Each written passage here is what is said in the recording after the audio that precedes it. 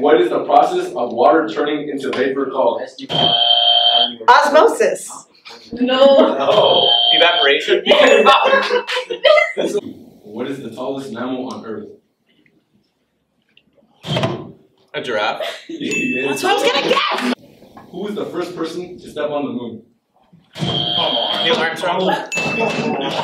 What is the process of a caterpillar turning into a butterfly called? Metamorphosis. Yeah, Yay! What is the process by which plants make their food? Photosynthesis. I knew that one. How many countries are in North America? How many countries? My hand was down first. Three. North Yeah, of it's three, it's three. Yeah. How many human human years are equal to one dog year? Seven. That's oh. not.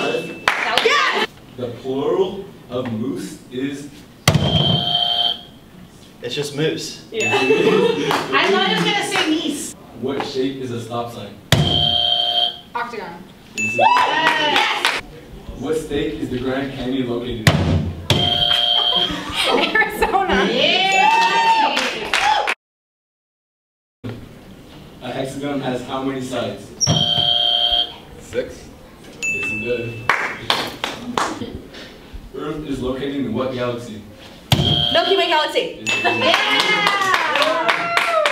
What is the hardest naturally occurring mineral?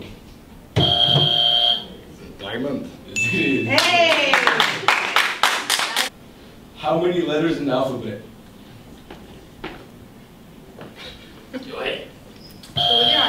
Twenty-six. Yes. That was a guess. Question. Animals without backbones are called?